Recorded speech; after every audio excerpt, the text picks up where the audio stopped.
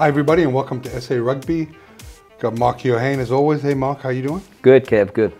Rugby's back.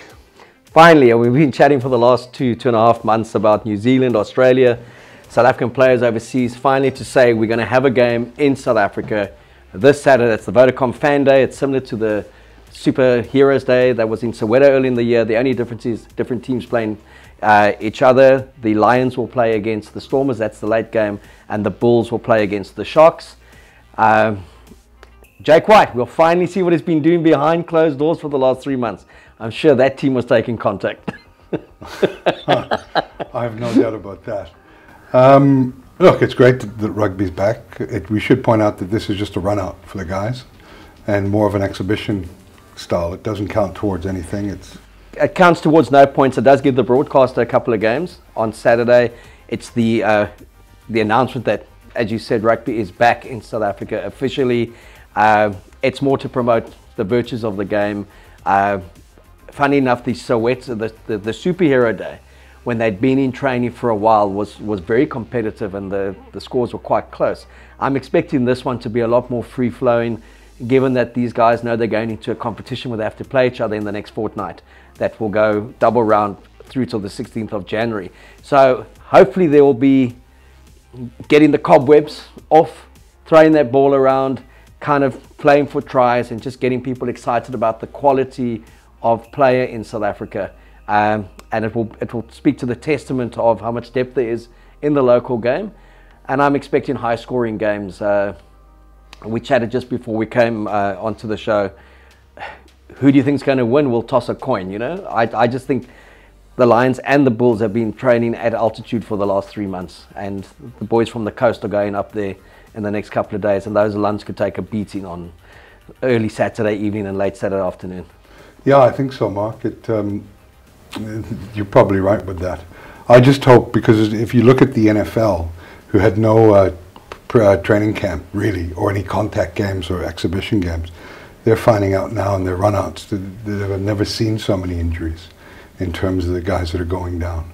Yeah, I think conditioning will be a, a, a huge factor because if again, if you go back to New Zealand and the UK, and they were kind of like, and, and, and Ireland and Wales, they set the standard of how it should be done.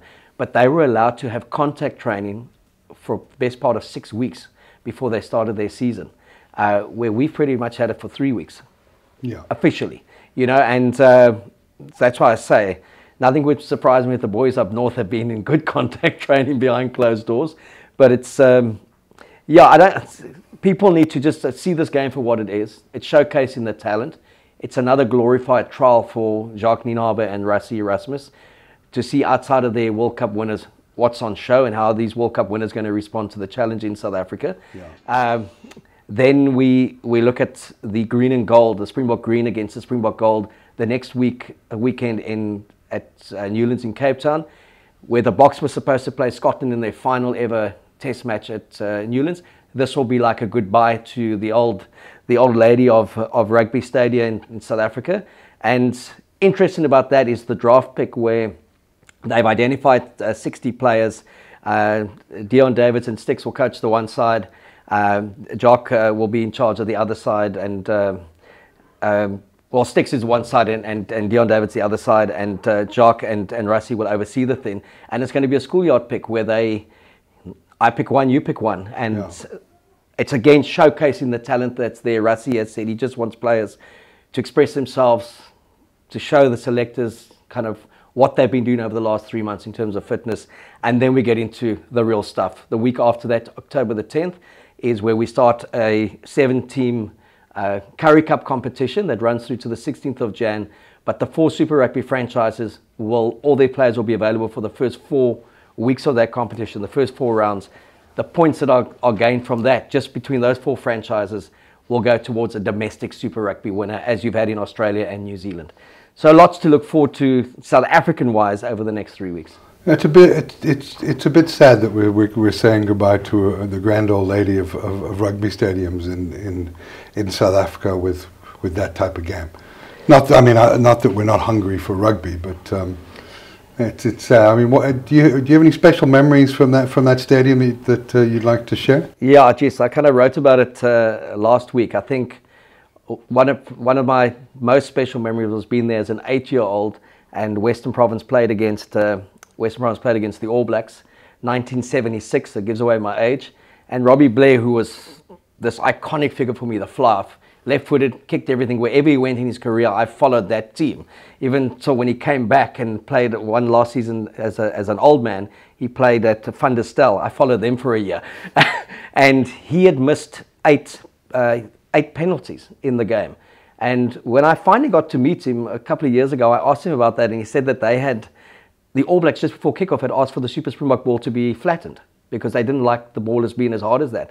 And his whole career said he had never kicked a ball that flat, and it spooked him the whole game. And uh, but then he nailed an 80th minute sideline conversion, his second successful kick of the game for the for the All Blacks to be beaten 12-11. And that day, in front of 50,000 people at Newlands, Province beating the All Blacks, Morne du Plessis playing a blinder, Chris Pope being superb, the kick from Blair. I was I fell in love with the stadium, fell in love with Province, and kind of fell in love with South African rugby. So as a schoolboy, that was one of my great memories.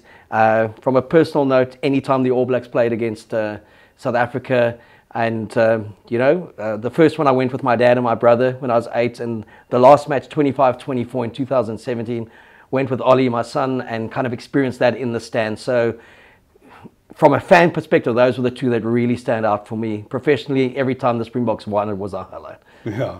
For me, it had to be 97 when the, the Lions were here. And uh, me and my brother uh, watched, watched the game. Great tickets for the game.